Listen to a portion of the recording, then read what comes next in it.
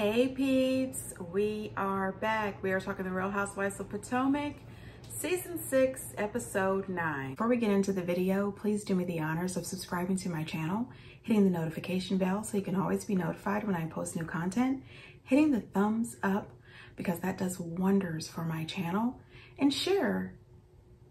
Thanks. So the episode starts off, we see Mia getting ready to have lunch with her mom. She's a little nervous. Um, she asks her husband, Gordon, who I really like. He seems to be really supportive of her and I really appreciate that about him.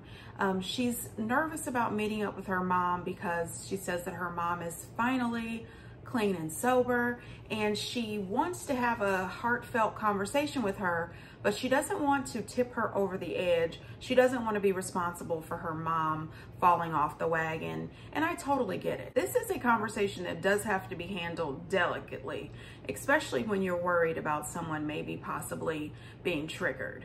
Then we move over to Wendy's house and she's having a conversation with her husband, Eddie, and she's explaining to him everything that happened on the trip and how she was really hurt by these allegations that were brought up. And she says it really upset her. She feels that they used Ashley to bring up this conversation with her, and she really didn't think that Ashley was the person to have this conversation with. And you know, to be honest, if I did have to sit down with any of those women to have this conversation with, Ashley or Karen would be my option. You know, Ashley has been through it. As Gizelle likes to say, Ashley and her husband have broken the internet plenty of times. And I think Ashley knows the feelings that are involved. So Ashley or Karen would be the ones that I would choose if I had to pick any of these ladies from this group to talk about possible infidelities in a marriage. It was kind of sad to see Eddie was a bit hurt about it as well. He brings up how they shared with the entire group that he, ended up having to walk away from his entire family to be with her. You know, if he would give up everything, why would he cheat? Um, I think that's a good statement, but I don't really know. I mean, there's a lot of men who have given up things. There's a lot of women who have given up things, uh, families, trust funds. You know, the people have walked through hell together and somehow they still cheat. So I don't know if that's the best reason for not cheating, but it is really good. It's up there in the top 10. I would say this, you have to be hurt to project hurt onto someone else. She can't genuinely be happy for you if she can still do something like that. You know, Wendy does make this statement. The ladies don't understand her reaction because they've never experienced that kind of love, you know, the kind of love that her and her husband have, and they never will. You know, I don't know what kind of love these ladies have experienced, and I can't say that they never will experience the love that Eddie has with Wendy, but I can say that I agree with Eddie. Hurt people hurt people. And sometimes when you're really jealous because you don't have a husband or because maybe your relationship isn't progressing the way you want it to or things just aren't working and communication is broken down, that you could possibly go after somebody else because misery loves company. Um, but I can't say that these ladies will never experience. They, they very well may. And actually, I hope that they do experience um, true love, happy love at some point in their lives. Because if so, maybe they'll stop being so bitter to others. Now, Robyn goes over to Gizelle's house because they're working on this podcast, Reasonably Shady. And I'm telling you, podcasts are big. You know, everyone has a podcast these days. I mean, as a matter of fact, one day, Lord, I might have a podcast. You know, everybody has a podcast. But, um, no, you know, I listen to podcasts on a regular basis. Most of them, they're true crime. Well, who am I lying to? All of them are true crime. Um, I would never listen to Gizelle and Robyn. Uh, no. But anyway, Robyn could hardly get into Gizelle's house. Her door was janky. I said, Lord have mercy, ma'am, get a new door. Put a little oil on it. Slide some oil to me slide some oil to the door. You know what I mean? Anyway, this podcast, they start talking about relationships and infidelity. I said, wait a minute now. I, I wouldn't take advice from Robyn or Gizelle to save my life. No, thank you. No, thank you. As far as infidelity is concerned, I decided that if it's a one night thing, okay, cool, we can get through that. We can get through that, yeah. But if this is a lifestyle, if this is how you want to live your life, right. I'm just not signing up for it. I'm not shocked that Gizelle and Jamal are not together. I never saw them together. Listen, uh, both of them are full of crap. Both of them are full of crap. She knew exactly what was going on with Jamal. She always has. She knew that Jamal was a cheater before she even married him, allegedly. We all heard the stories. Okay, she mentioned it several times in her first season that he was a cheater, cheater, pumpkin eater. That's what she said. I didn't say that. I wouldn't say anything that lame. I would have said some other kind of eater. But anyway, moving on. Where's my mind? Um, Gizelle, we all know that was fake and phony. You and him were not together. This was just for you to have a storyline. You keep on every season. That's all you got. Jamal, Jamal, Jamal. That's it. And then everybody else's business. And then Robyn making this comment that she knows what she's worth now and she wouldn't put up with anything other than what she deserves. Lies. Ma'am, quit lying. Quit lying. Don't lie to us. But most of all, stop lying to yourself. You have put up with a lot and you still are. Then we see Candace sit down with Chris and they're talking about her busy schedule. Goodness gracious. She's doing this, she's doing that. You know, she brings up to Chris that Gizelle made the comment that she believes that Chris is riding her coattails. And I said, oh, wow. Because, you know, Chris really likes Gizelle. He just comes back and says that she has always been extremely supportive to him and his career. You know, she hostessed at his restaurant when they were short staffed. And now this is his opportunity to you know, give back some of that support to her to help her when she needs some help. And Candace pretty much says that Gizelle needs to mind her business. That's the problem. She doesn't have any business. I'd like Gizelle to just get some business, ma'am. Please, find you something to do. Goodness. Then she goes on to tell him about Ashley and how, you know, she thinks that Ashley just came down there, lit a match and left. And I agree. Ashley did spark the flame. Then she left. You could have been trying to come from a good place. I went into the kitchen. Ashley and her forehead were in there getting her breast milk, and I saw her gleefully as she's in the fridge getting her little titty milk. That is not how that was supposed to go. Just not. Time for her. Okay. Like, you're gross. That's a little harsh. Oh, Candace is extremely rude when it comes to Ashley. And, you know, her and Ashley can go toe to toe. We have seen previous seasons that Ashley can give as good as she gets. And Candace too. Both of those ladies go back and forth, back and forth. But at this point, it's more Candace going after Ashley than Ashley going after Candace. So, you know, Chris said too, he said, that's mean, that's rude. I agree. Michael and Ashley take the baby to see a massage specialist. The baby is having some trouble latching on. And before the woman can even get her hands on baby Dylan, Michael is giving her a full-fledged interview. This man is practically interrogating this woman. He goes through her, her credentials, everything. I said, my gosh, sir, why didn't you get this information before the appointment? You could have gotten all this information before the appointment with a simple phone call.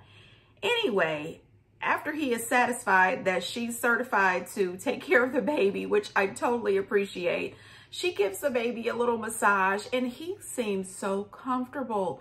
I mean, he was so relaxed and comfortable. He was asleep before they got into the car and I thought that was so cute. And then I reminded me, I need a massage. Anyway, I hope that things are better for baby Dylan. I hope he's able to latch on now. Um, Michael and Ashley have a conversation in the car. Yes, and you're quickly getting back into shape, which is great for me and um, you certainly don't look like you're overweight in any way, shape, and form. So I find you very attractive, and I'm, I'm looking forward to that. That ticked me off. That truly ticked me off because what if she didn't snap back quickly? What if she wasn't losing her weight? What if she was still retaining all of this water? And what if her hormones were still all over the place? Then what? I really don't like that you don't know what women go through while they're pregnant. You don't know what happens right after that. Their bodies are so different after having a baby.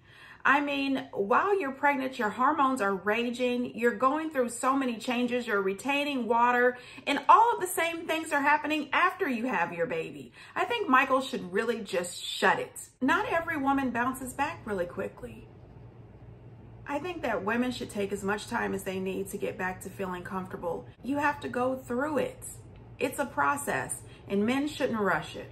We see Robyn talking to her son and she's talking to him about school and then she reaches out to this life coach. And as we've been saying to her peeps, or I have through the through my videos, you need a therapist Okay, so the life coach even mentions that. Maybe you should see a therapist versus a life coach. This whole time, this woman is explaining to Robyn the importance of seeing a therapist and what therapists do versus what a life coach does. Robyn says that she doesn't think she needs a therapist. Lies, ma'am, you are lying to yourself. You are depressed. Okay, you need to see a licensed therapist. You and Sonja Morgan. Okay, uh, stop with the the the bong lady and the crystal woman. Uh, stop with all the foolishness. You don't need life coach. You need a therapist. You know, if anything, you could really use a therapist to teach you how to detach your head from Gizelle's ass. Sorry, peeps. I'm just over Robyn and Gizelle. Mia's lunch with her mom starts off really well. I was just a little concerned about them ordering cocktails after she just told us her mom just got out of rehab. But anyway, things started off great until she mentions her father. We find out that it was her dad that introduced her mom to drugs. And then she talks to her a little bit about when she got burned. Remember a few episodes back, she told us about getting burned as a child and then being taken away. The night that you got burnt, do you remember that? I don't remember it, but I have the scars to show it mm. all over my body, yes. You decided to cook oatmeal and you poured it off the stove and it went down, you know, burnt you second, third degree burns. I was at work 15 minutes when they called said I had to go back home as fast as I could get there. And I'm like, her father's there. When I got back to the house, he was in the basement with another woman. That explains a lot that explains a lot. And I would like to say that I appreciate her mom for being so brave to share that with all of us, with across the nation. And, you know, she also mentions that she puts him out, but then three days later, due to the drugs and everything, she just wanted him back. She mentioned that she tried to take her own life at one point because she couldn't live with him, but she also couldn't live without him. And you could just tell that she was truly devastated. These thoughts and memories of the past seem to be overwhelming. And not just for her, but for Mia as well. And I think that it is a good idea for Mia and her mom both to possibly get into therapy together and separately um, I think that her mom is really a strong woman and she's on the mend. She just has to take it one day at a time and try her best to maintain her sobriety. Right now, I think she's doing really well. She's doing really well, and I think that she needs to start first with forgiving herself. And I'm wishing nothing but the very best for her and her mom I really admire that she was able to get out and tell her story, or at least parts of it. So Karen is out shopping for a second wedding dress. And honey, I don't understand. Why do you need the two? And she says that she needs a dress that she can dance in. Maybe a nice white pantsuit. I don't know. Anyway, she does let us know that the original dress, the first dress, the one she's going to get remarried in, was $10,000. Oh my goodness. Speaking of wedding dresses, I looked up some of those wedding dresses by Dorit from the Housewives of Beverly Hills. Her dresses are anywhere from 7000 to then to $10,000. I said, point me to the knockoffs. Somebody direct me to David's Bridal. Anyway, I want the David's Bridal sale, you know, the $99 one. I can't imagine, I can't imagine one, paying $10,000 for a dress. Two, I can't imagine having an extra $10,000 for the dress. I'd like to spend $10,000 for the whole wedding. I'm just saying, I'm cheap and I'm not rich anyway. Moving on. What I thought was hilarious is they showed a little flashback and Karen asked Ray if they could get a practice walking down all those steps. Ray's face and her face.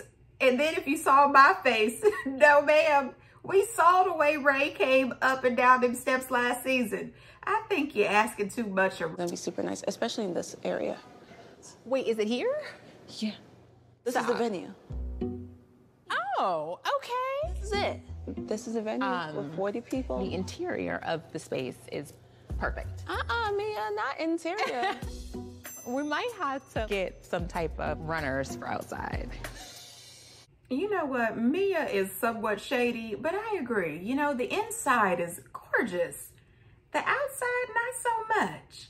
But anyway, it doesn't matter. The wedding is taking place on the inside of the building, not the outside. Mia lets Wendy and Karen know that they have not been invited to Robyn's birthday party. And my thing is this, I hope Gizelle doesn't think she's hurting Wendy or Karen. They don't care. They really don't. I don't think that they care one way or the other. I think it's also just childish. It really is. You know that you're all a part of this girl group. It doesn't make sense. But who cares? I wouldn't even want to go, especially after all the blow-ups from the weekend before. Who wants to be bothered? Gizelle says that she was only going to invite people who actually wanted to celebrate Robyn, people who actually wished Robyn a happy birthday. So I'm assuming that Wendy and Karen did not did not wish Robyn a happy birthday. Now, at one point, Karen brought up that whole wishing Ray death again. You know what, Karen? Stop it. Okay, you have got to let that go. That dog just doesn't hunt. Okay, ma'am, I am sorry. You are holding on to that for some reason. The woman did not wish death upon Ray. And this was four years ago. Let it go. Okay? Karen is my favorite out of all the women of Potomac. But girl, you gotta let this one go. So Chris and Candace go out for lunch and they're discussing her video shoot. And Chris lets her know that he's not going to be able to be there for one of the days while they're filming her music video because he has to work. And it didn't go over well. You always go play golf when I need you to be present to do the that I need to do for this video. I want to spend five minutes doing something that I want to do so I that I then can spend the rest of my time. time doing your I will cuss you the out. Check your attitude. Find somebody else to do this for free. Why would you say that? I'm trying not to cuss you out right now. One being different, you know? Now, first of all, you need to stop it. The way she talks to this man is disgraceful. He is your husband. He is not your child. She talks to him as if he is a toddler and she is in charge of him. This is ridiculous. You need a professional manager. He is a chef. He chops and dices and slices. He is not here for management for entertainment. You need a real manager, somebody who is going to be able to separate personal and professional. You are being extremely disrespectful to this man. You are talking to him crazy, and that's not okay. I would say the same thing if he was speaking to her that way. The man is a grown up. If he did not work, if he was just lounging around on the couch, she would be devastated. She'd be telling everybody what a loser her husband is. But the fact that he is working for you for free and still teaching his cooking classes, that says a lot. Let the man do what he needs to do and you hire your own manager. So then the ladies get together to celebrate Robyn's birthday and Candace mentions that there's a couple of ladies missing. Bill tries to say that she texted Wendy. She wanted to have a conversation, but Wendy didn't text her back. So as far as she's concerned, the offer to talk has expired and the relationship is over. And Askale says, after that weekend, I think she deserves a little time. You know, you guys really went hard at Wendy over the weekend. She feels attacked. This filthy milkmaid. You drove four hours to ruin my trip. And this is why I don't deal with her. As I've said, when I want to be messy, I'll admit to doing the churning. Did not. Oh, absolutely, that hoe did. You called me a hoe. I believe you did. Really, and that's appropriate? Yes. Okay. Yes, it was. Why is that? Because I felt like saying it. You have no legs to stand on. You brought because your wide because body you. ass down wide? to Williamsburg I'm wide now? to spread I'm lies now? and bullshit. So, and then you so, took off with so- your breast milk. Y'all want to talk about body shaming, right? I'm so not body now shaming you're you. calling me wide. You walking into How- a room, you body shaming yourself. I'm With wide? your big ass face and your big ass oh. forehead. Candace, Candace, Candace, Candace, you are reverting back to Candace of old. I mean, no ma'am, no ma'am, no ma'am. The body shaming is a no ma'am. Absolutely not. Absolutely not. Ashley did strike that match and leave. That's true. But what you are doing to Ashley right now is absolutely tacky and tasteless. You don't have any right to comfort that woman's body or her breast milk and get off her forehead. Okay, everyone is not blessed with a tiny forehead. I mean, seriously. You cannot use someone's motherhood as shade. And Candace, if you had just had a baby and somebody brought you wide body and breast milk and all that other stuff, you would be devastated, practically in tears. You would be so busy folding a napkin, you wouldn't know what to do. You are not right for that. Leave that woman alone. Candace, you really showed your butt this episode. The way you spoke to Chris, the way you keep talking down about Ashley and her motherhood, you should seek some therapy. I'm sorry. I, I was trying to give Candace the benefit of the doubt. I thought she has really grown up. She has matured. But no, ma'am. No, ma'am. No, ma'am. That was wrong. That was wrong, Candace. You are absolutely reverting back to the old Jew. Anyway, peeps, get down in the comments. Let me know what you thought. And until next time, bye.